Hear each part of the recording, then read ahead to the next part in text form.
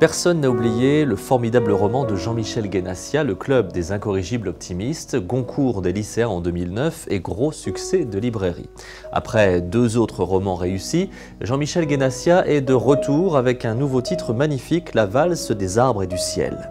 Il est bien loin celui qui avait fait son droit et était devenu avocat, répondant ainsi à la pression familiale. Il y eut ensuite pendant plusieurs années l'élaboration de scénarii, mais c'est avec l'écriture romanesque que Jean-Michel Guénassia a réellement trouvé sa voie. Et chaque nouveau roman confirme ce talent, où l'on retrouve un style ample, foisonnant et maîtrisé à la fois, agrémenté d'une sensibilité délicate et d'une intrigue bien menée. La valse des arbres et du ciel confirme tout le bien que l'on pensait déjà de Jean-Michel Guénassia. Que s'est-il passé à l'été 1890 en cette fin de juillet? Reprenant les doutes sur l'authenticité du suicide de Vincent Van Gogh, l'auteur nous raconte ici les dernières semaines de l'artiste à Auvers-sur-Oise et ses relations avec le docteur Gachet, dont il peignit un portrait. Mais c'est surtout sa fille, Marguerite Gachet, qui est au cœur du roman de Jean-Michel Guénassia.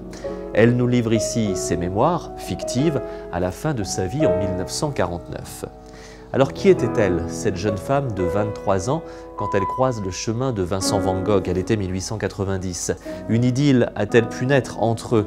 Et les sentiments étaient-ils les mêmes de part et d'autre? Et que sait Marguerite de la mort de Vincent? Un roman passionnant qui donne à voir les œuvres de Vincent Van Gogh avec un autre regard, une intrigue rondement menée, un rendu très fidèle de l'époque et au final un livre qui est l'un des coups de cœur de cette rentrée littéraire 2016. La valse des arbres et du ciel, le nouveau roman de Jean-Michel Guénassia, est publié chez Albin Michel.